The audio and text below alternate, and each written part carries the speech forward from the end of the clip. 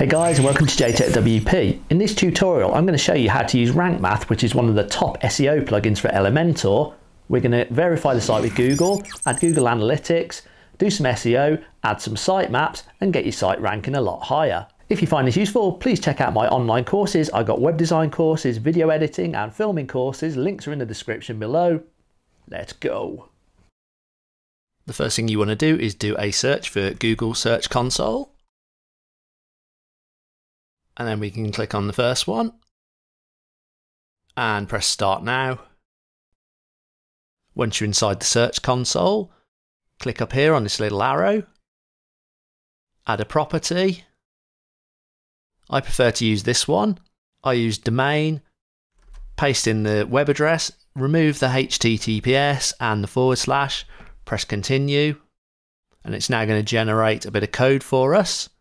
So it's this bit of code here that we need. Copy that. Log into your cPanel. Then you want to look for Zone Editor. You can either find it in here or you can type in Zone up here to find it quickly. Press Zone Editor and then just check that that's your domain name. Go to Manage. Press Add Record. Set the type to text paste in the value here from Google, and then you just want to make sure that you've got your domain name from here. So copy that and paste that in here. Press add record. All right, so you should see it's saved. I now go back to verify domain. Press verify. And there you go, it's done. We can now go to the property leave this tab open because we're going to come back to it later on and add our sitemap. Next, I'm going to open Google Analytics.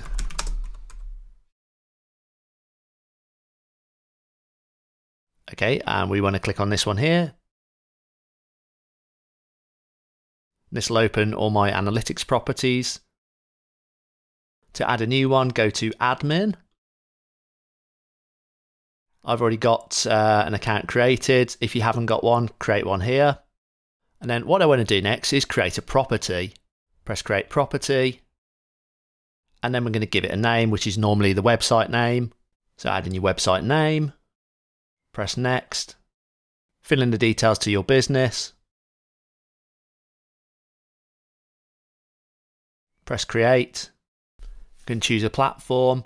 I'm going to go for web because it's a website. Now, and this is where we enter in your URL. Make sure you take the HTTPS out of there and the backslash out of there. Make sure if you are using HTTPS that is selected and give the stream a name. Again, I'm going to use my website name.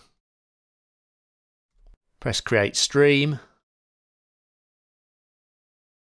And what we're looking for now is the gtag.js.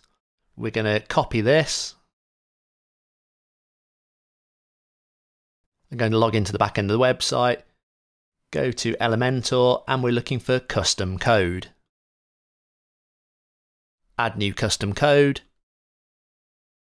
And then we're going to make sure that head is selected. Paste in our code. And what I'm going to do for the title is call it Google Analytics. And press publish and we want to make sure that it's set to entire site, save and close. We're now going to add rank math. So I go to plugins, add new, search for rank math.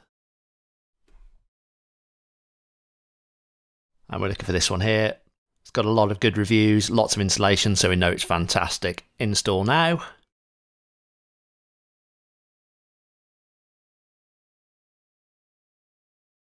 Activate.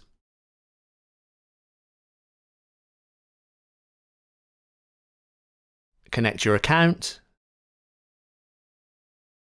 Okay, so we're going for the free plan. Activate now. I normally go with advanced. Press start wizard. If you've been previously using Yoast, you can import the data. If not, don't worry, you can press skip and don't import now. I'm just going to fill in the shop details. You could upload your logo here if you wanted to, or your default social media. save and continue. Now we're going to connect to Google services. Then choose your Google account. Press allow. And it should, after a couple of seconds, find your site in the profile. There we go, it's selected our site. You can manually add it here if you need to, but normally this method works for me. If you want to, you can now enable email reports, which is a nice new feature. So every so often it sends you an email telling you how your site's doing. I'm going to turn this off because I don't want the reports coming in. Save and continue. Leave all this on the default settings. Save and continue. Leave these on defaults. Save and continue. And that's it. We're ready to go. So I'm going to return to the dashboard. And you'll see now we've got Rank Math activated. Next, we want to add our sitemap to Google. So I go to sitemap settings. The first time you install Rank Math and set it up, you'll see it's going to take it a bit of time to import all the data. What we need to do is give this sitemap to Google. I'm going to copy this. Go back to our Google Search Console go to sitemaps and we see it's blank. Enter your sitemap here, paste in the one we just copied, press submit. Okay, so if it doesn't say success straight away, just give it a couple of seconds and refresh your browser. I'm also going to go back to the page, open up the sitemap, and this will give us all our other sitemaps that we can add, like the posts will be your blogs, the pages, products if you've got WooCommerce, and categories if you've got WooCommerce. So I'm just going to add these in as well. Copy our posts one. And you can paste them all in here. Go back, get our page sitemap. Copy link address. Paste in our page sitemap. The page sitemap is one of the most important ones to put in products, if you've got the WooCommerce, there's our product sitemap.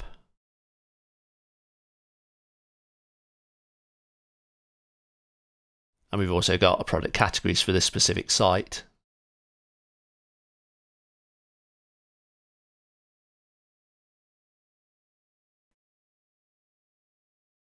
So you see there, if it couldn't fetch it, refresh it, and it should go green after a moment. And that's it, that's your sitemap submitted to Google and RankMath connected. With RankMath installed, we can now go to Pages. We should see there's some new options here. To customize what you see, go to Screen Options. I would recommend turning on SEO Details, SEO Title, and SEO Description, as this will show you a little bit more information. Press Apply. We also want to go and configure some more settings. I go to RankMath, titles and meta. And then we want to go to local SEO. And this is where we can kind of customize the business page part of the SEO. So you'd fill in your website URL. Try and make sure that this matches your Google business listing because this will help your ranking. So you'd fill in your email. So you fill in your details exactly as it appears on Google. You put your business type, set your opening hours, add your phone number, add your price range, so I use pounds, so I'd put pounds in. Select an about page if you've got one. If you've got a contact page, enter that. The Google Maps API key, that's quite tricky to set up. Well, I'm not going to cover that in this one, but if you do have an API key, drop it in there. Coordinates, you could put the exact grid reference of your property or your business in here, and then save changes. Once you've set that up, we can now go to Pages, in Pages, scroll down to the page you want to edit. I'm going to start with this one, which is my online course for how to build websites fast. Press Edit in Elementor. And we see here's our page. And over on the left, we've got a new option called SEO. At the moment, our score is pretty low because we haven't given it a keyword. And the way this SEO system works is it tells you what you're doing wrong and what you need to do to fix it. First thing I'm going to do is add my keyword in which is going to be how to build an awesome website fast. Okay, so I've added that in, and we can see straight away it's gone from like a red to kind of an amber. We've gone from like 16 to 66% out of 100, which is a good improvement. You also see that a couple of these have lit up as well. Focus word in the URL. If that's staying red, I'll show you how to fix this. Edit snippet. There's our permalink. If I took out the fast, you see the score's gone down. See, um, the focus word was not found in the URL, so you could fix that by going edit snippet, just add in your keyword with a dash in between each one, like that, and that's going to help quite a bit. I'm now going to fix the meta description. We can see there, there's our keyword, and then we've got edit snippet, and this pulls up an example of a Google advert, so it's showing you how your advert would be displayed on Google. One of the things I'm going to put in is make sure my keywords are in the description. So I could have learn how to build an awesome website fast. And look at that. Did you see that? Something moved on the left. It's kind of happy now that we've got the keyword in the meta description, but we'd still need to add more here. This little bar is like um, an indication of where you're at with your description. If it's in the red, you need to add more text, and it'll start to go green as I start typing. Bear in mind that you're only limited to 160 characters. So what I do is I go onto my page, I'll copy a bit of text that my copywriter made. So I'll copy the section here. We can drop that into our description. Okay, we see if you put too much in, it goes red. So we got 14 words that we need to get rid of.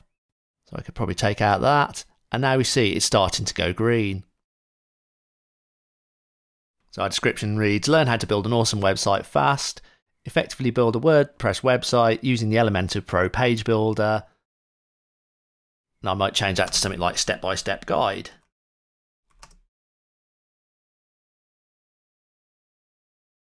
And you can see as I'm typing, the bar's going more green.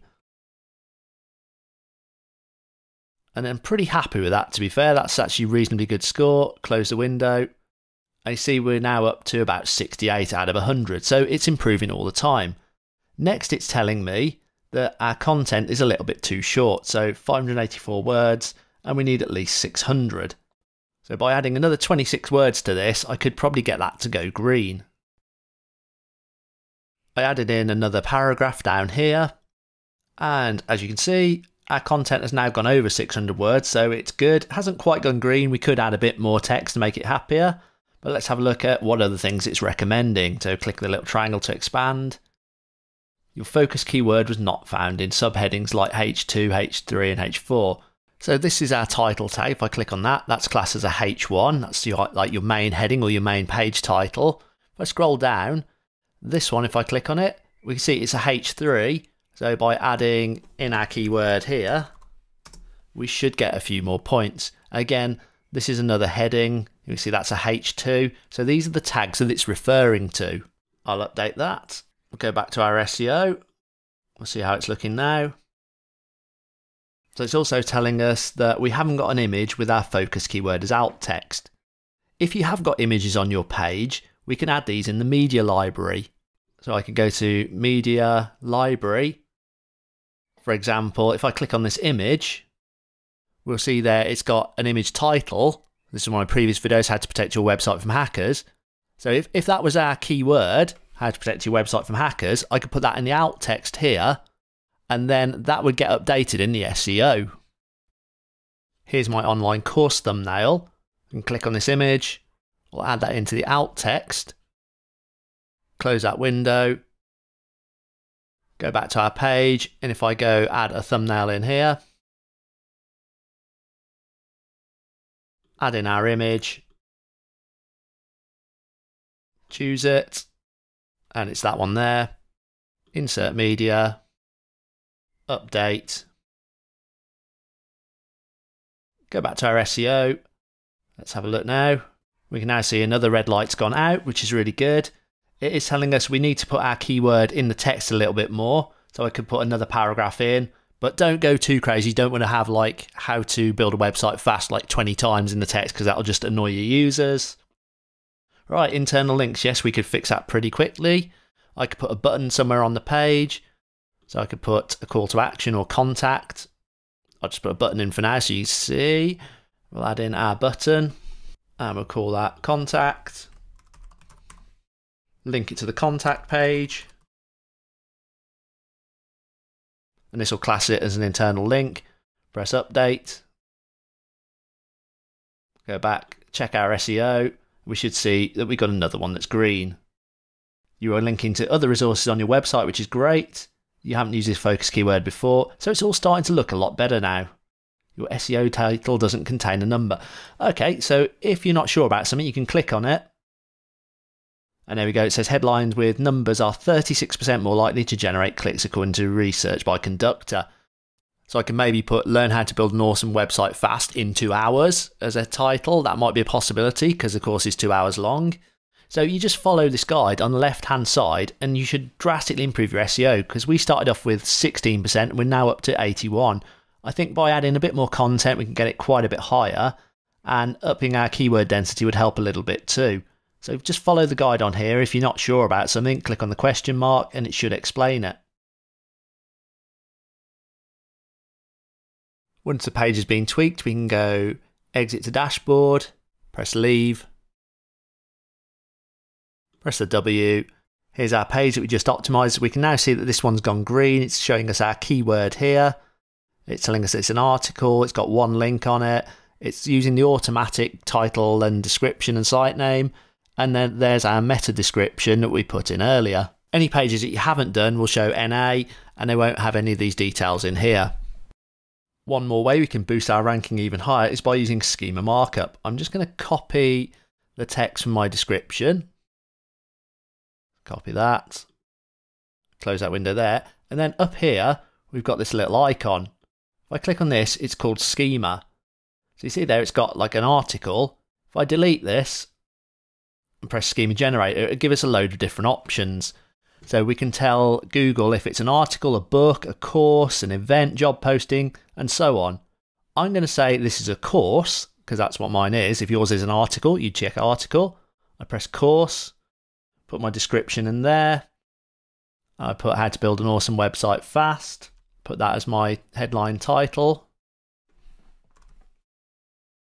I maybe put in using Elementor Pro in the title down there.